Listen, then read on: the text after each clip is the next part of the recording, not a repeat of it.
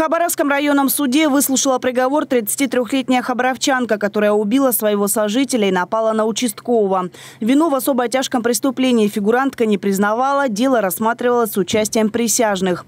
Убийство произошло в августе 2021 года в СНТ «Строитель», которая находится неподалеку от железнодорожной платформы «Садовая». Подсудимая периодически ночевала здесь со своим 35-летним кавалером. По словам соседей, застолье у хозяина и его гостей началось чуть ли не с самого утра утра. В итоге высокоградусные посиделки вышли за рамки Уголовного кодекса. Сожители начали ссориться на почве ревности. Дама начала бить мужчину руками и ногами, а потом воткнула ему в грудь нож. Всего она нанесла бойфренду 23 удара. Один из дачников рассказал, что женщина заходила к нему примерно за час до того, как к дому приехали полицейские и врачи. Она заметно нервничала и попросила угостить сигаретой, после чего ушла. Я уже потом уже слышал, что там типа он холодный, ну там это, ну, это слышно же, как бы отсюда я uh-huh. посмотрел, что все уже. Ну и она там кричала, наверное, что-то там.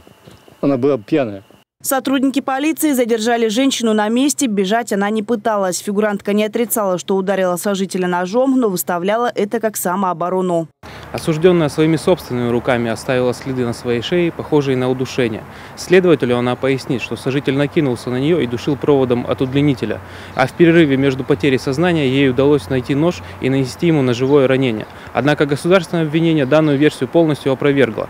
Другое преступление, а именно применение насилия в отношении полицейского, женщина совершила в январе прошлого года на пятой площадке. Она напала на участковую, которая пришла в общежитие разобраться с конфликтом между жильцами. Участница потасовки повела себя неадекватно. Подсудимая ударила офицера по лицу и угрожала поджечь ее волосы зажигалкой. Свои действия фигурантка объяснила алкогольным опьянением.